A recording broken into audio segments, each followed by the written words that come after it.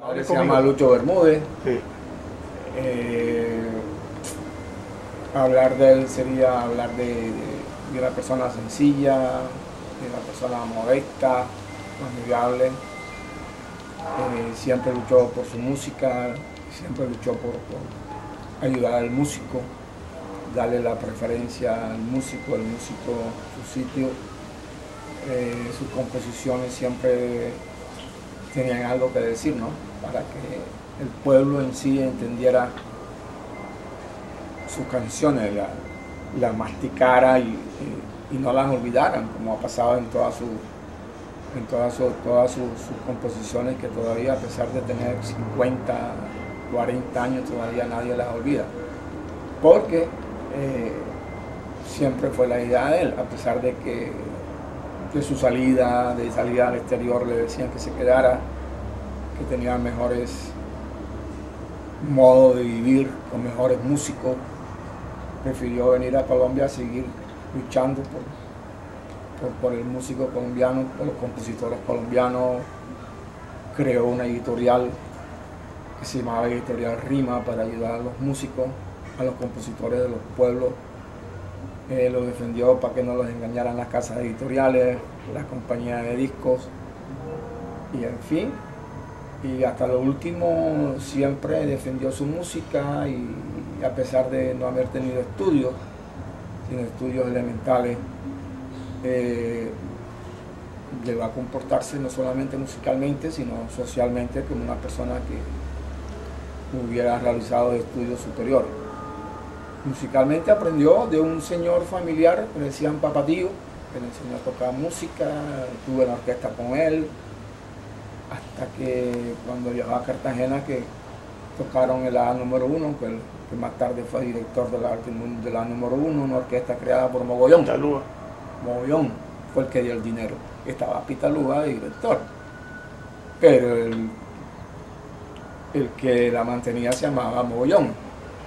Y más tarde, mi papá fue director de, de estuvo en Aracataca, eh, estuvo aquí en Santa Marta, fue director de la banda departamento de, de policía de acá. Aquí compuso muchas cosas.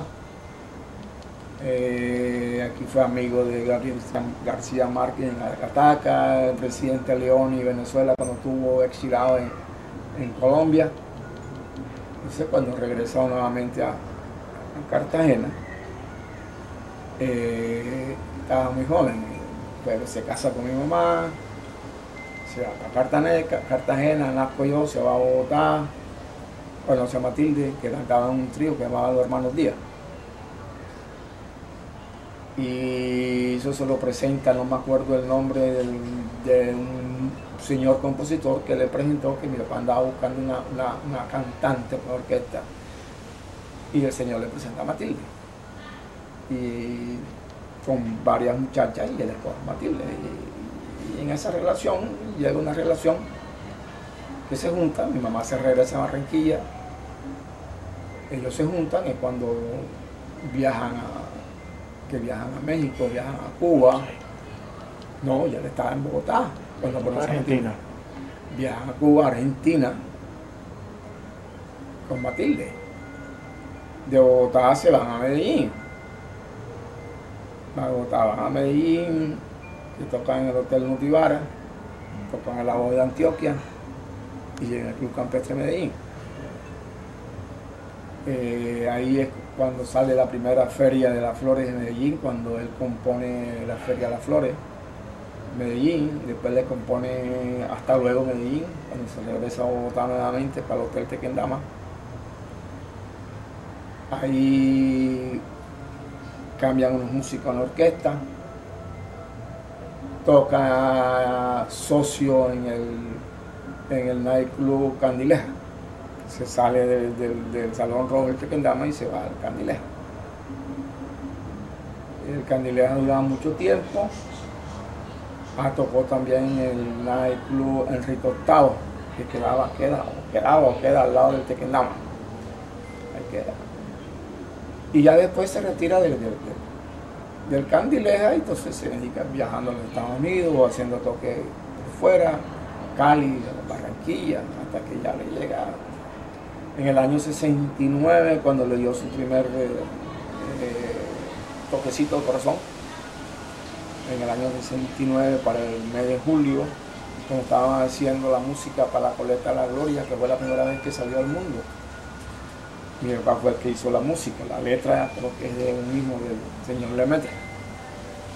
Estaba en la base, él es el que hace los arreglos y él graba el disco que regaló la coleta en todo el mundo.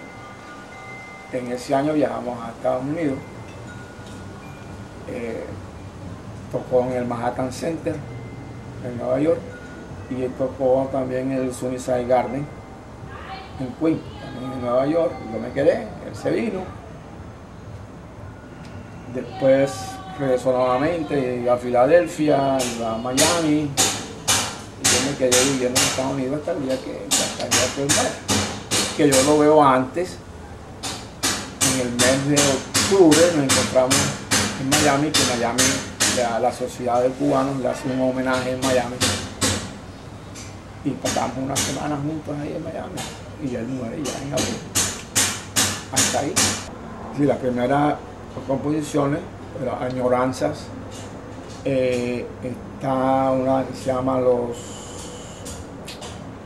Marbella. No, Marbella, fue después antes los Marañones. Los Marañones. Una calle donde vivió en Cartagena, los Marañones. Estuvo en Marbella, estuvo Prende la Vela, Tolú, eh, Santa Marta hizo Los Primos Sánchez. Aquí en el hotel, que todavía existe el hotel aquí en el Malecón, me acuerdo que uno de los Sánchez le dijo, eh maestro, usted a todo el mundo le ha hecho canciones y a nosotros no, la, no nos ha hecho nada y ahí, y bueno, no te preocupes, esto vas a hacer ahí mismo en el, en el, en, el hotel comenzó y la noche le entrenó los primos Sánchez. Él hizo la tocita de Julita, que era la señora que transportaba a la gente del malecón a- a- a- al rodadero, que le dieron un camioncito y el camioncito era una choza. Una Ah, choza. ese era mi ranchito. Mi ranchito, él le puso la tocita de Julita. Él hizo una canción. Pero sí, ella quería mucho a mi papá. Eh, Burucuca y Bureche. Bureche también. Eh, Barranquilla le hizo una, gran- una canción que casi nadie sabe que es de él, que es eh, Joselito Carnaval. Joselito Carnaval, sí, sí. Y mucha gente todavía no sabe. Eh, compuso muchos bambucos, bastante, Pasillo. el pasillo, bastante, los nombres si no me acuerdo, no Sí. los tengo, pero no me acuerdo el nombre. Y después cuando salió el tumbazón, Ah, en la época en Bogotá. en Bogotá, eso fue en Bogotá. Sí, en. Bogotá. Teque- Teque- Tequendama. el Tequendama. Hizo también un disco al hotel, le salió Plinio Guzmán, Ah, sí. que la letra es de Plinio. La letra de Plinio. Guzmán es de Plinio. Sí, pasa que él nunca, Plinio nunca dijo nada. Pero la letra es de Plinio. Eh, Oye, te busco ese es de Cañavera. Sí, él hizo el arreglo, pero es de Cañavera. sí. Pero te busco no es de Plinio Guzmán. No, no, no. No. No. Es de Cañavera. Sí, entonces, eh, que la hizo en un son guajiro. Cuando él llegó a Cuba le decían al colombiano que hacía guajira. Porque no esperaban de que hey, un colombiano haciendo guajira, ya lo conocían. Ya conocían Prende la Vela, que no sabían quién era, pero conocían a un colombiano que había hecho la Prende la Vela, que, que para ellos era algo especial. Fue cuando lo invitó Lecuna en Argentina, que fuera No, en Cuba.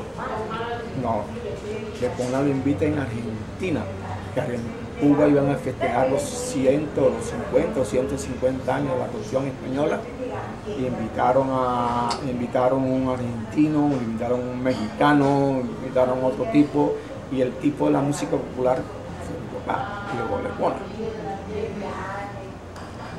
Fue cuando tocó en Tropicana, que la orquesta creo que era de Lecona, ahí, ahí cantaba Benny Moré y hicieron la coreografía de Prende la Vela. ¿Tú sabes si hay grabaciones de eso?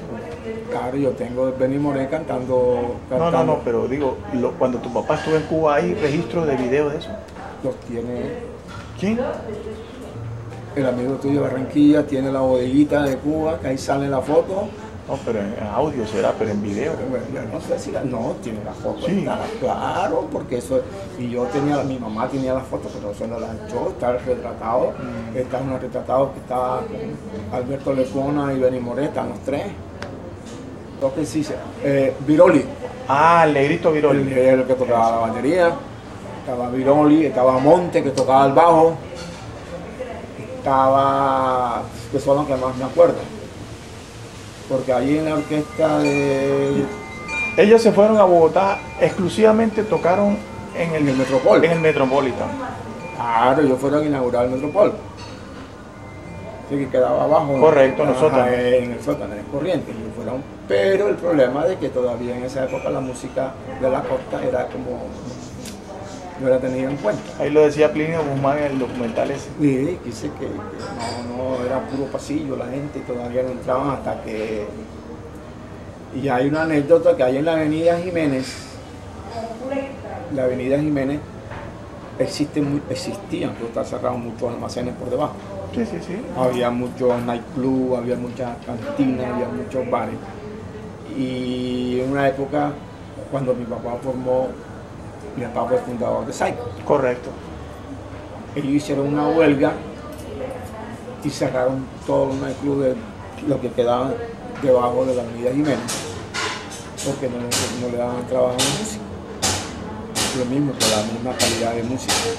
Hasta que se fue abriendo el camino, se fue abriendo el camino, entonces tocó la Nueva Granada en Correcto. Bogotá. Lo que hoy es el hotel, digo, el, el Banco de la Es República. corriente, Nueva Granada. Eh, de ahí salió, la voz de Antioquia, en el Nuevo Mundo. Come Leal tuvo un tiempo y después Come Leal se devuelve. Porque muchos se volvieron por cuestión eh, del clima, el tiempo. Porque a mí. Bobby Ruiz me dijo en Cartagena que él ingresó a la orquesta, pero están ya cuando la orquesta de Lucho estaba en Medellín. Medellín, porque cuando el Bobby cantaba en, eh, en los clubes, nightclubs de Cartagena, y alguien se lo recomendó y él lo Correcto. Y se lo llevó. En Bogotá cantó Henry Castro, Cuando tu papá viajó a Buenos Aires, grabaron Danza Negra ya. grabaron Danza Negra, grabaron Mi Buenos Aires Querido, Sí, correcto. correcto. con Talamaris, que, que- y hay muchas canciones que, que se perdieron de nombre allá en Buenos Aires, eran de él y aparecieron. ¿Ese era con la orquesta de maestro qué? Amaris. No, no, no. Hay un Talamaris que sale, No, no. Hay varios, No, pero debe ser famoso para ahora no me recuerdo. pero hay varios, hay varios. Y se perdieron muchas canciones que él hizo allá y cambiaron de nombre. Y con músicos de allá, argentinos. Sí, sí, ellos le pusieron todos los, todos los músicos argentinos. Tu papá después de Buenos Aires se regresa a Bogotá. Él regresa a Bogotá. Buenos Aires regresa a Bogotá. Forma la orquesta de él. Sí. Y en Bogotá, Tocó con Alex, con Alex, Alex Tobar. a, a Escobar, pero con Alex Tobar cuando sale Pachito Che. Sí. Con Alex Tobar, así ya de esa época ya, ya yo estaba muy pelado. Sí. Yo estaba muy pelado. Pero tú viviste con tu papá. Claro, mucho tiempo. De ahí viaja a Medellín. En Bogotá. En Bogotá no tanto. Ah. En Medellín. En Medellín. Medellín. Entonces viaja a Medellín, que se lo lleva el papá de Dorigil Santa María, que era dueño de Caracol, la que fue reina de belleza. Sí. El papá de ella era dueño de Caracol. Él se lo lleva a Medellín a tocar la voz de Antioquia, programa Cortabaco. Sí, sí, sí. Primero tocó en Lutibara, después en la voz de Antioquia, hasta el viernes y el día sábado, viernes y sábado, tocaba en el Club Campestre. Pero ya estaba Matilde Díaz ahí. ya estaba Matilde. Sí. Ya de Bogotá, ya, ya Matilde pasa. Sí, sí, sí. Ya, ya Matilde pasa. Ya sale Viroli y entra Cervantes. Ah. Y entra después Guillermo, que ya está vivo, que tocaba la tumba. Guillermo Ramos, cartagenero. El que le decían chicharrón. Claro, Él que vive. está, está vivo en Cartagena. Él vivió en la casa con nosotros. Mi papá se lo llevó y, y él vivía con nosotros en la casa.